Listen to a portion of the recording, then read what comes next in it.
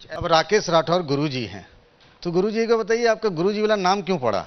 और लोग कहते थे कि आप एक्सपर्ट थे मिस्त्री थे पूरी कहानी जरा बताइए विस्तार से क्योंकि बीजेपी में ऐसे भी चेहरे हैं ये लोकतंत्र की मजबूती की निशानी है। क्या बताएँ गुरु कहानी तो बताइए बड़ी दिलचस्प कहानी है। अच्छा।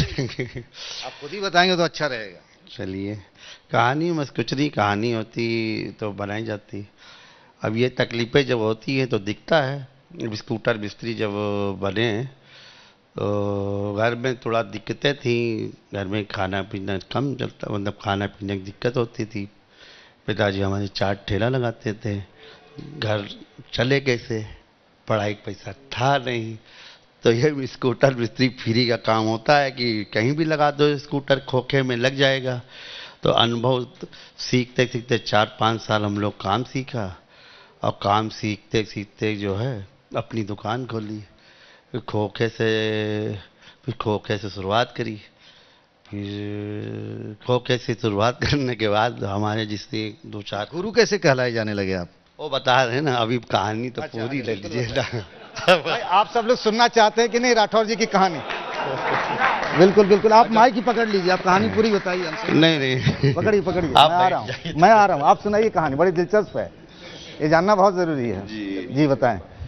जब खो खोखे में काम सीख रहे थे और सीखते थे, चार साल काम सीखा।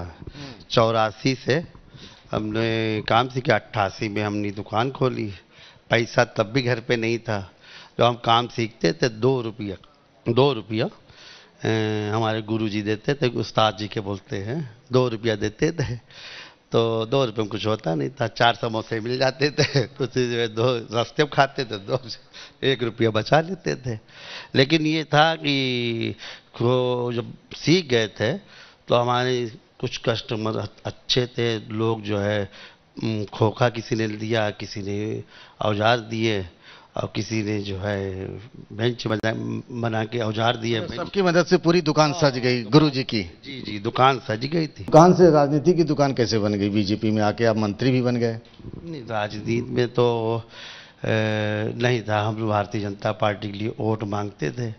जो भी अपने संदेश मिलता था वोट मांगते थे। लेकिन जो भी हमको वो रास्ते जो रास्ते तय करते तो सीधे वो ईमानदारी से मेहनत से खाना खाए ना खाए अगर वोट मांगने जाना है तो गाँव गाँव जाना है। आठ गाँव दस गाँव करना है। वो सारी रिपोर्ट देना भारतीय जनता पार्टी लिए। मैंने चौदह से बराबर काम करते रहे। 2014 से? जी चौदह से बराबर काम करते रहे।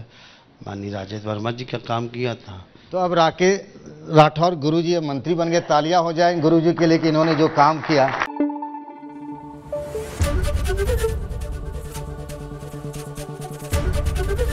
ABP news. आपको रखे आगे।